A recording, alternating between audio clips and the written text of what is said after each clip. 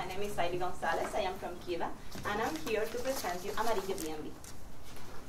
Amarillo B&B is my family home. There, I rent three furnished rooms for travelers from many different countries, so it is an Airbnb. Why I do share my space? So, I studied literature and linguistics. It's a beautiful career, but it's not exactly the one which, give, uh, which will give you enough money. Uh, so, I have to create a different business. So, in this, I met this amazing boyfriend who had a large house with a couple of spare rooms in which he intended we live together. But his mother lived there, and she has a mental ill. in this situation, I had to define what the changes were and determine that it was transform this family home into a business in order to earn enough money for keeping away the Anton's mom and keep her very, very happy but away. So, because if the world gives you lemon, make lemonade.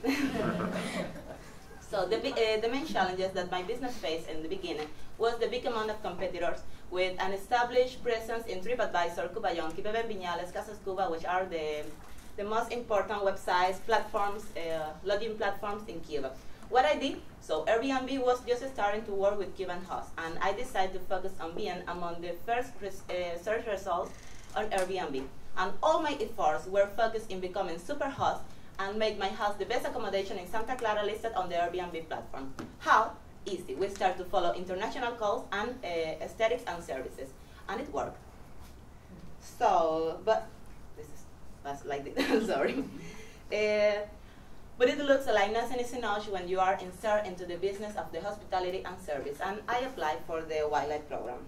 And here I was placed in the Oakhurst Inn, and there I have been receiving training, learning, and I have been evaluating, comparing, and getting good practices.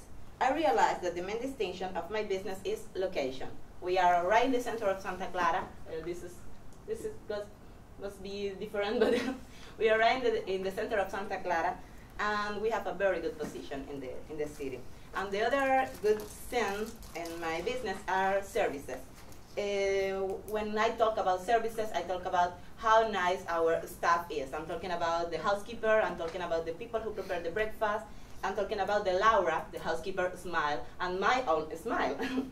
so, but we have to promote uh, a lot this, uh, our services, our location, our business, to make our business more uh, recognized with marketing. So, what is going to happen in the future with Amarillo B&B? So Amarillo B&B uh, is not going to be Amarillo B&B anymore. Will be Amarillo Inn, uh, not a family house. Uh, we are focused in, get, in offer more services and smiles, so in order to get more reviews in TripAdvisor and Airbnb. We are opening new cozy rooms and redesigning all the existing areas in order to become in, the preferred, uh, in your preferred choice for your staying in Santa Clara, Cuba. oh, I.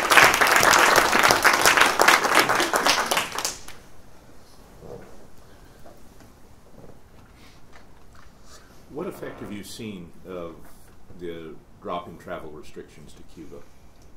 I'm sorry? How? The U.S. has eliminated so, yeah, travel actually, restrictions actually to Cuba. right now, uh, Airbnb started with Cuba in April of two, 2015, Yeah. and we start to receive, in the beginning was just for tourists from America, Yeah. and we start to receive a little amount of people from America, but in this year, so we, uh, after the Obama visit and with all the, the restrictions, we are receiving a lot of people from America. And right now, I can say that the 70% of my occupation is here from here, from USA. That this is great. How many other properties on Airbnb are you competing with in I'm- your city? In my city, everyone is in Airbnb, but I am already the number two in the searchers uh, results, so it's great. What did you do to drive that position? Why I do? Yeah, What I how, do? how did you get to be number two? So, good services, good services. Yeah. It's like and really smile and attend all the requests. It's exactly that I do. Do you think you have any room to put your prices up? My prices up, yes, of course. And I'm focused.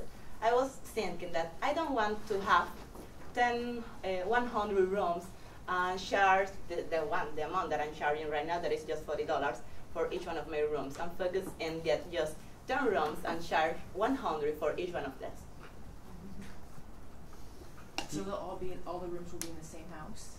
Yes, we own, right now we own three rooms and when I go home, I will open the fourth room because we are moving. It's the reason because it's not gonna be a house family anymore. Mhm. So the fourth room and we are focusing by in this high season, the one of the apartment upstairs to build two more rooms.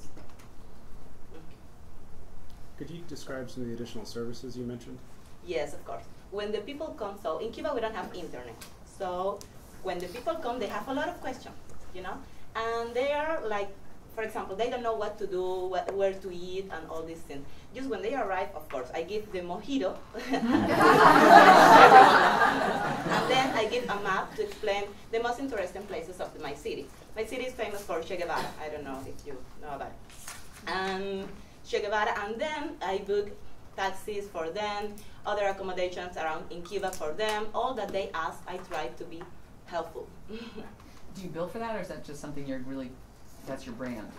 My brand? Yeah, do, is that something that you actually get paid for in addition to paying the, you know, what they pay for the room, or you provide those services for free no, as an for free. enhancement I to your provide brand? those services for free. So,